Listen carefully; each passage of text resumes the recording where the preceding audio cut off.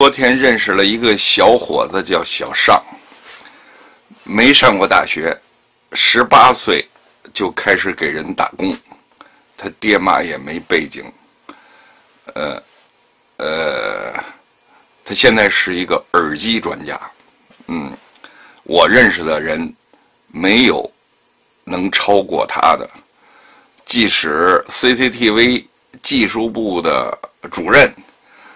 总工程师老邓可能都不如这孩子。这孩子说我拍这个一镜到底啊，太不严肃，机器太简单，就这么一个简单。啊，说我这不会有人看，他建议我像哔哩哔哩哔哩省内人那么拍。昨天认识我之后，他就给我推荐了几个东西，嗯，比如摄影师什么的空间。罗翔说刑法，B 站百大 UP，嗯，我看了之后我不喜欢啊。最后一个是姜文，姜文我认识，但是我认识那姜文不是这样装逼的姜文啊，给我的感觉这哔哩哔哩哔哩个个装逼，嗯，我我是摄影的。所以装逼没装逼，按照亨利·卡提尔·布列松决定性瞬间那一下，叫情感达到最高潮开始松弛的一刹，那就是坎迪派的决定性瞬间。所以我对装逼的老偷笑。我其实现在就在装逼啊！你看我这帽子，这是新华社我一同事卖我的，嗯，因为我老喜欢收集怪玩意儿。你知道说迪克西的土地吧？延安那会儿有迪克西的使团，就是指美国内战南方的那些，这是吗？他说是，因为我也不知道，我也没参加过一八六一到一八六五的美国内战，所以我真没办法说这个东西。一说到照相啊，照相的里边装逼到顶的，就是徕卡，嗯，徕卡里边装逼到顶的是徕卡 M 九。啊，为了装逼，我拿起个徕卡 M 九来啊！哎，我不仅有徕卡 M 九，我还有徕卡 M 六，我还有徕卡三，还有啊！我相信我说完了之后，我又会会来新的徕卡。嗯，既然装逼就得像，嗯，我仍然喜欢我这一镜到底不剪辑，因为一镜到底不剪辑是不装逼。嗯，没逼你装什么逼呀？所以没逼不装逼，我的一镜到底不剪辑，也不是知识，也不是技术，也不是哲学，呃，但是什么呢？是情感，就是好多事儿让我高兴，让我愁，让我生气，我一生气我就情感上受到触动，我就开始喷，是真情实感的喷发，嗯，徕卡 M 九。是徕卡自主开发 CCD 的最后一个机器。以前电视台都是买摄像机，专业跟业余的区分是几块 CCD。嗯，一般专业都说要三个 CCD 的啊，三个 CCD 就是专业的了。电视台都喜欢用三个 CCD 的，这是第一，CCD 得多；第二，CCD 得大，CCD 越大的一英寸的最好哈，四分之三英寸的就不行。啊，二分之一英寸更不行，四分之一英寸的更不行，那就是业余的小摄像机了。嗯，因为摄影就是摄像啊，来自照相机。嗯，电影儿三十五毫米胶片来自幺三五柯达胶卷所以最初设立柯达三十五毫米胶卷就二十四乘三十六。嗯。基线测距、旁轴取景的这类相机，其实有好多，蔡司、伊康啊，呃，耶拿、耶拿蔡司、卡尔蔡司啊，只不过他们折腾东德西德啊，社会主义、资本主义给折腾没了。只有徕卡始终在资本主义那头就把自己做活了。尤其到了八十年代，八十年代他又在自己机身这儿装一大红点儿，啊，装一大红点儿装逼。其实以前一直是没这点儿，这点儿大概到一九八二还是一九八三年，啊，就是我 P 大毕业那会儿还没有呢。说到这个徕卡，徕卡是中国卖的最好的相机，为什么呢？它是一个神话，它就不是相机。真正会用徕卡的不多，嗯，比如我大哥谢海龙，拍过那个叫什么，呃，呃，大眼睛啊，希望工程，希望工程，啊，呃，中国有个金三角摄影协会，金三角摄影协会有三个名誉主席，第一个叫王文澜，嗯，第二个叫谢海龙，第三个就是在下，嗯，就是我。为什么我说这金三角摄影协会？金三角摄影协会跨三个省、四个地级市，这三个省是哪三个省呢？陕西省、河南省、山西省。我一说这三个省，你们就马上知道，都是中国历史上的核心的地位啊！这地儿是从来最装逼。嗯，这四个地级市，我再说一下它名字：陕西的渭南，啊，渭南有底下那些县，我说说嘛，一说更吓人啊，潼关。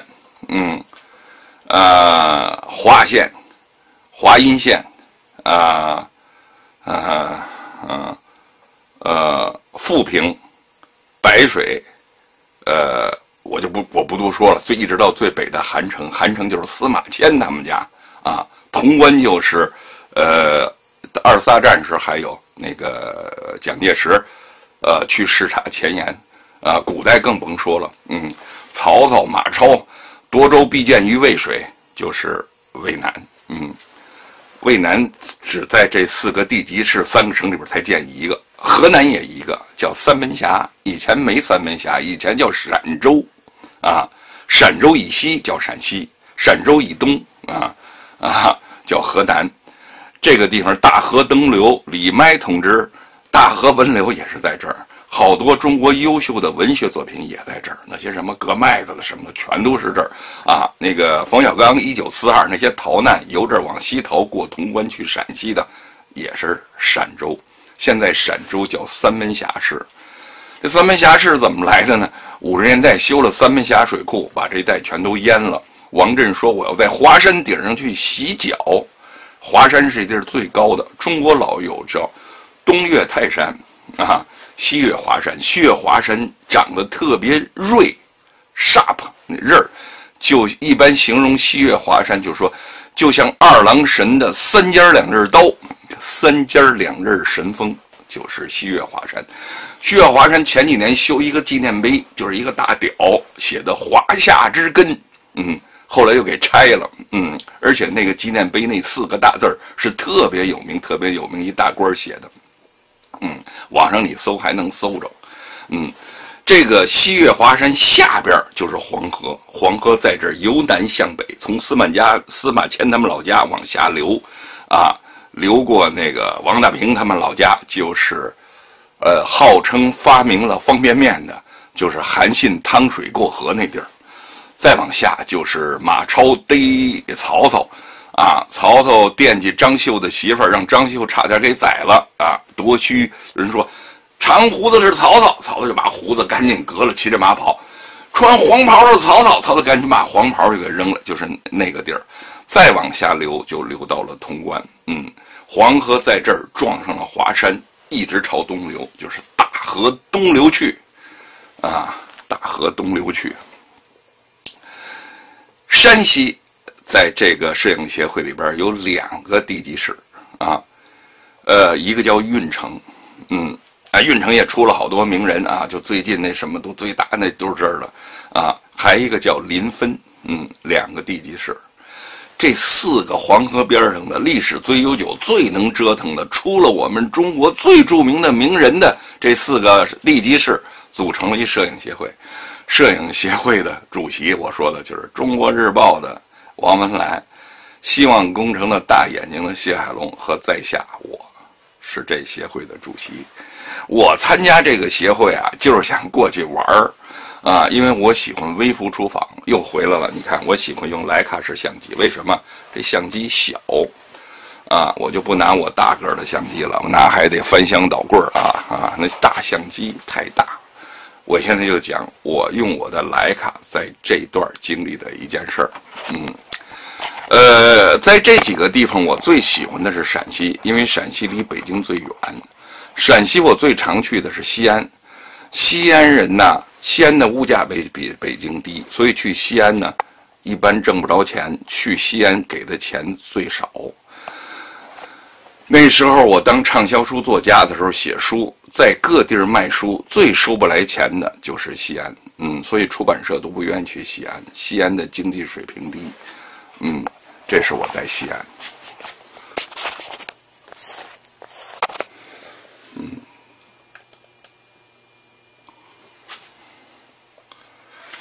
这是我在西安走，这我也不记得什么街了啊。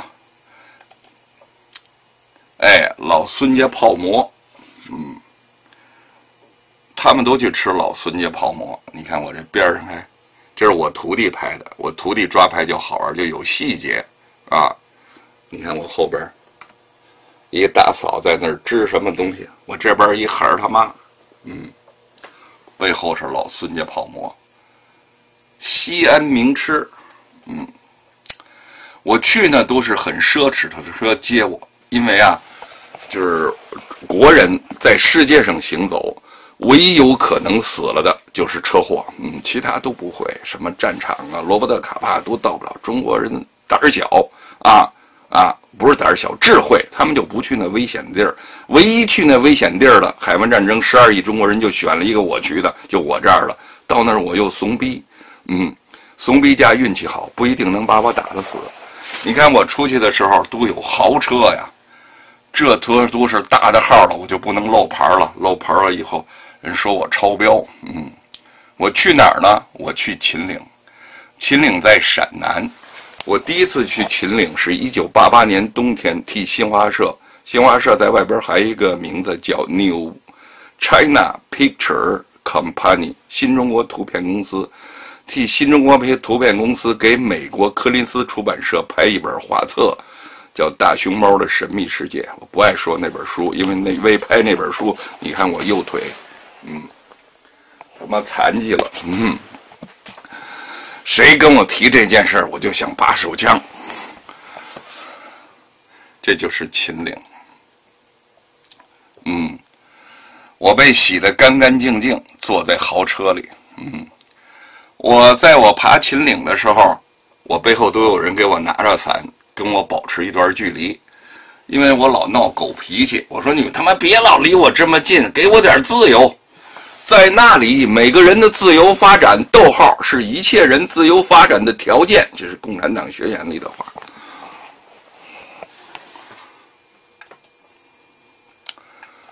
我爬山是真爬，嗯，所以你看汗流浃背，嗯，而且我爬山过程中，我喜欢走没人走的路。嗯，我和当地的人攀谈，你看我头上这些汗。我通过谈话，嗯，这是我徒弟马木东拍的。我徒弟是个回回，嗯，那时候我用的是 iPhone 四吧，嗯。秦岭这小土狗啊，现在全都改养狗了，嗯。这狗我也不知道脏不脏，有没有跳蚤，我也拿起来抱抱它。现在上秦岭都有缆车，嗯，我逮熊猫的时候都是爬上去的，严寒。现在你看，我都老了，他们怕我摔了，还有人搀着我啊。呃，这秦岭偏僻的地方，就说穷山恶水、丑妇刁民，也出傻逼，这就是一傻逼，嗯，傻子，嗯。我朝给他拍照，他还敬礼。嗯，就是近亲繁殖的那个彩，这是当地的那个领导陪着我走。嗯，我喜欢蝴蝶。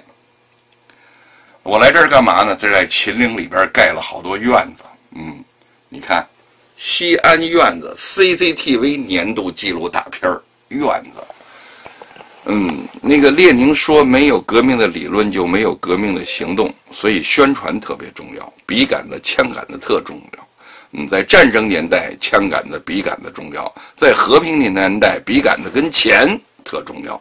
战争年代，笔杆子跟枪特重要。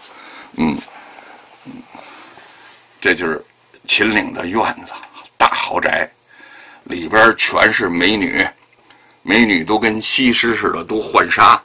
穿的影影绰绰的，里边还都放出烟雾来。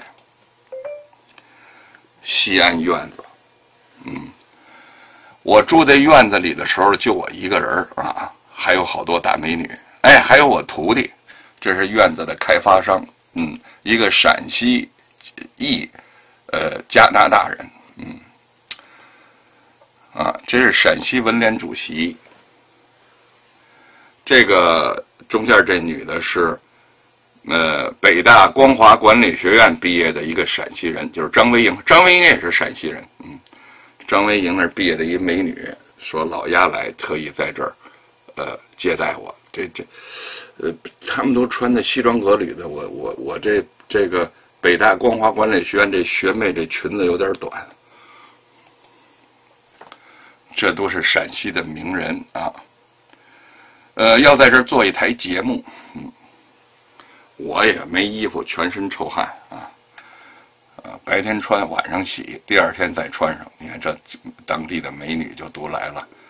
CCTV 年度纪录大片《院子》首映，嗯，高鹏中秋佳作，嗯，这都是当地的名人，一不是啊，一二，不仅当地，这我我就不是当地的，这是我。老不老实啊？坐这儿还猴了吧唧的，猴气太足，虎气不够。嗯，CCTV CCTV 一说好，这秦岭就盖起好多别墅来。其实每一件事儿背后都有很深的策划啊。呃，我当时就觉得这是个事儿，所以我很认真的拍这些东西。嗯。嗯，去的哎呦嘿，哈，呃，刚才那也没事也没漏点啊。那是我洗澡，呃，去有头等舱，是吧？我只需要背着我这帮装逼的机器，啊，佳能、尼康，这尼康就是我让马未都用那个马未马木东用的，他给我摔了，让青苔给划了那个。这是老邓给我的摄像机吧，所以我每次出去带好多机器，其实没多少行李，嗯。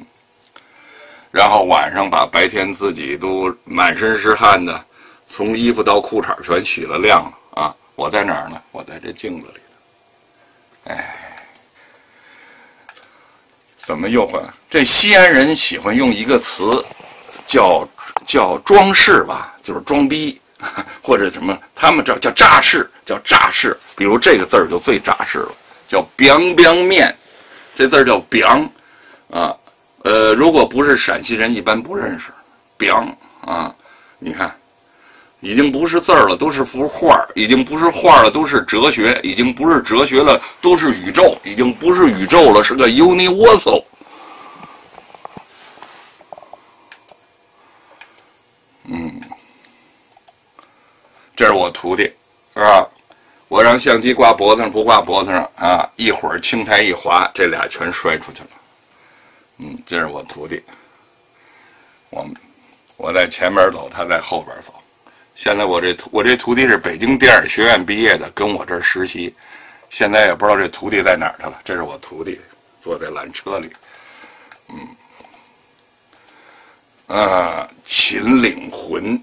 啊，其实挺好一石头，一写秦岭魂给写坏了，嗯，呃，秦岭魂还没写坏，我这傻逼往这一站，给站坏了，嗯，呃，接着还回来说这秦岭的院子，你看啊，这是我跟我徒弟拍这些美女，啊，浣纱影影绰绰的，你看看啊，嗯，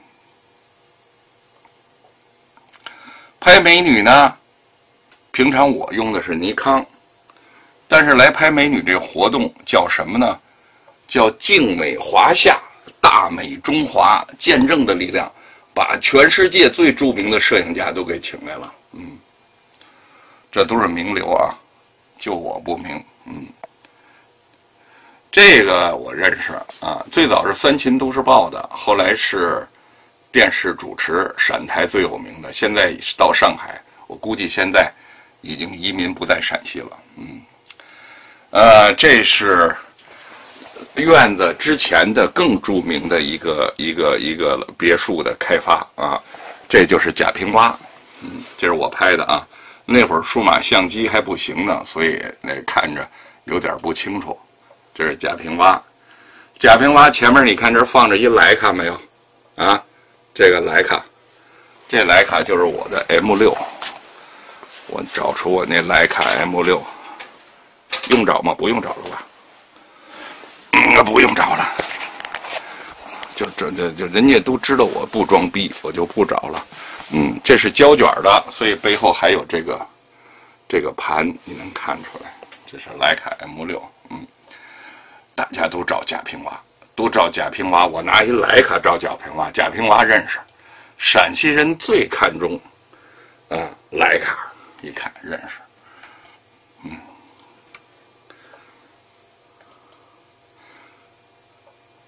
贾平凹是写废都的，写的讲究。啊，里边一个人吹牛逼，不叫吹牛逼，叫熏。嗯，我中学的时候有个同学，他们家是中国音乐学院的，叫史振良。史振良他爸是中国音乐学院的党的头。史振良有个妹妹特美，嗯，是我中学时代我认为最美的校花。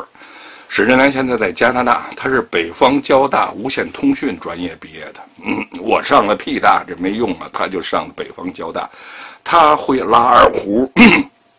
在我们中学，他跟另外一个人，嗯，每年呃学校开大会，他都是男女二胡齐奏，跟他一起拉二胡那人叫程方圆，他叫史振良啊，他就用泥捏这么一个东西吹。我老说吹牛逼，他说这不叫牛逼，这叫熏。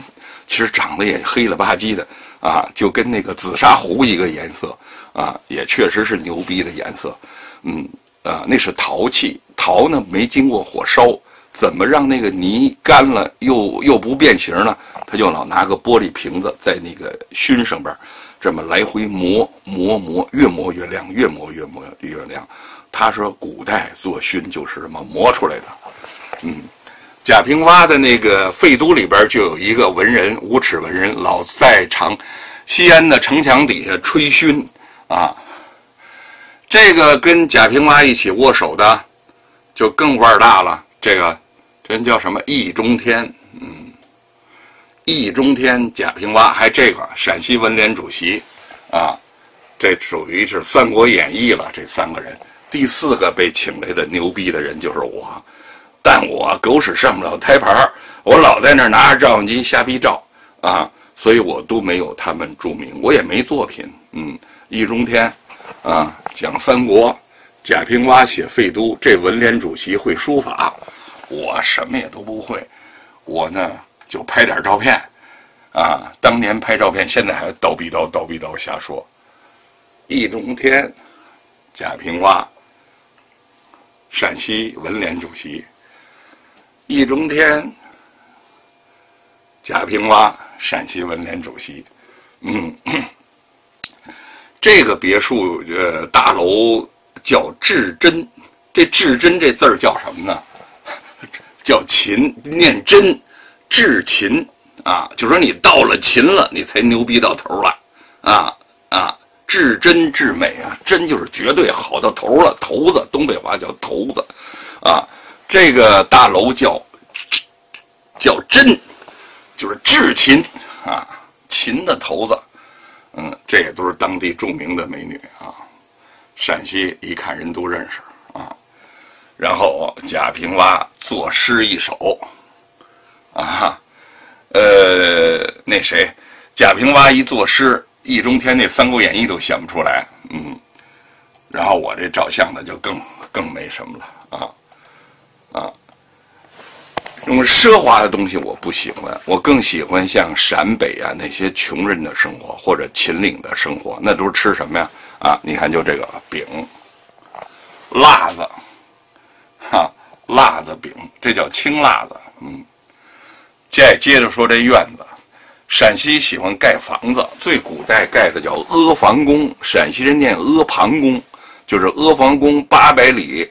胳膊下金陵一个史，就史湘云他们家《红楼梦》里边，最后一把火烧了楚人一句。楚人是谁？就是项羽啊，楚霸王项羽。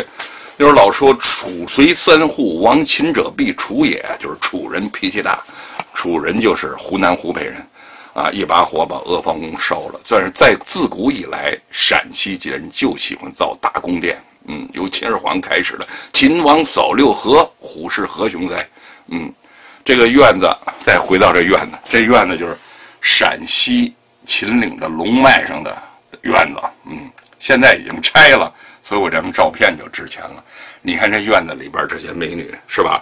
弹着古琴，换着纱，个个三围都好，嗯，都是找来的模特儿啊。你看看这女孩，忧郁的女孩啊，背后还云山雾罩的，嗯，这小玉手，嗯，哎呦，这不是，这还是我学妹啊，就是北大光华管理毕业学院毕业的学妹。我学妹坐着，我这角度有点低，嗯，把这袜子跟儿都给拍着了。后边这个孙子就是我徒弟马步东，把我相机给摔了，你看还往墙上码呢，嗯。晚上我们在秦岭院子接着讨论，嗯，这是陕西文联主席，啊，冒雨在这儿嗨说，嗯，呃，我一出去就是背着我这个徕卡六、徕卡什么，嗯。呃，后来这个秦岭院子这事儿弄大了，把全世界的摄影家都请来，在这儿签个到啊。参加这活动呢，叫生态文明与影像文化沙龙。嗯，你看这些都著名的老外，看着眼熟吧？有的是演电影的，有是拍电影的，把他们全弄到中国来啊。然后中国摄影家协会的领导，这原来就是新华社记者，后来到摄影家协会当领导去了啊。然后把这些老外都请来，嗯，你知道来的老外每人的，除白吃白住啊，还有什么好处吗？每人一个徕卡，啊，说你怎么知道的？我也是其中一个，也答应给我一个徕卡，不然我去干嘛呀？嗯，这帮老外在北京开完会。吃完了，喝完了，嗨完了啊，然后就一起，就都奔西安了。嗯，都是头等舱，我还带着我徒弟啊，这帮人嗨着对，去的人每人给个徕卡，嗯，啊，去那儿住这大床，king size，敞开了嗨啊，颠鸾倒凤，这是胡颖，是我同事，嗯。新华社理论研究室的主任，啊，电视台都来了，老外白吃白住还给徕卡，个个对着镜头说好话，嗯，嗯，他们不让我说，我他妈这鸭嘴不会说好话，不会顺风接屁，他们说的全是好话。我又坐着头等舱。喝着小米粥，吃着火烧，这穷逼命，看着我窗外的竹子。我住的那个院子的小院叫长乐居，嗯，锦绣华夏，大美秦岭。远处是秦岭的太白山，太白山就是秦岭的主峰，嗯，奇花异草，异香扑鼻，美女如云。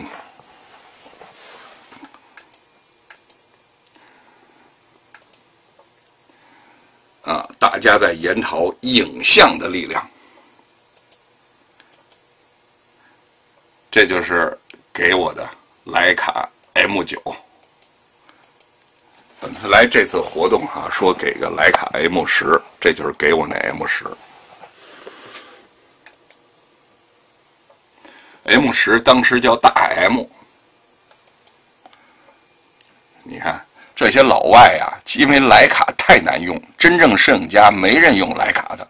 这老太太、老头、这老外用的是索尼，嗯，这是新华社中央组黄静文用的是尼康，嗯，这是我用的也是尼康，这是我，我这尼康不是新华社的啊，我这尼康是 C 呃是尼康公司给我的，嗯。静美华夏，大美秦岭，院子，嗯，这是个徕卡 M，嗯，你看每个老外都拿着手里那徕卡，为什么？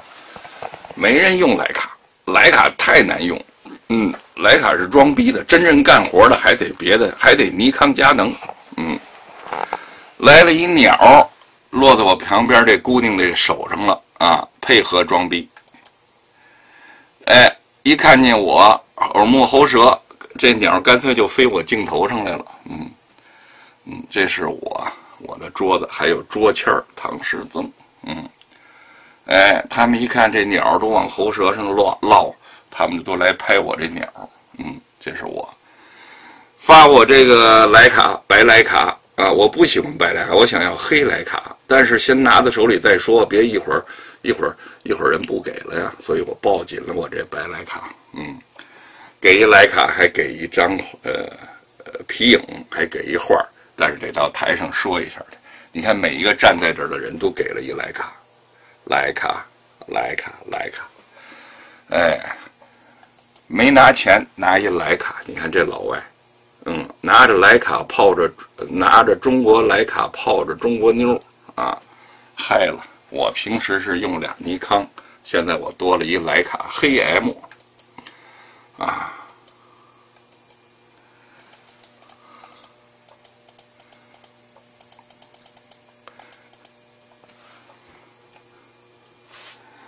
还没高兴完呢，这组织这个活动的来了，说老唐你那徕卡有毛病。哎，我说是，因为徕卡呀，每两边上都有这个地儿啊，这叫什么呀？耳朵或者鼻子，啊，这是挂相机袋的。我这边缺一个。徕卡号称世界上最精密的机械，给我一崭新的就缺一耳朵。嗯，说我拿回去给你换去，所以拿回去又拿这徕卡。来把公司给我修去了，但是没想到这一修就没再回来，没再回来。哎，这都是当年秦岭院子，但这个策划好，把中国古老的秦岭、秦岭，嗯，零度等温线，呃，八百毫米等降水量线的秦岭上都盖成大别墅，盖成院子。再把老外德国人请来，啊，在这修佛像、拍背、拍照片，真是一好创意。但可惜这东西我白去半天，没给我来卡。再往后边不便看了，云山雾罩的，那些浣纱女的衣服都湿了，湿了就露点，就不适合拍了。照相这东西，就是装逼。但我不是，我坚信罗伯特·卡帕的那句话：如果你拍的不够好，那是你靠的不够近。我靠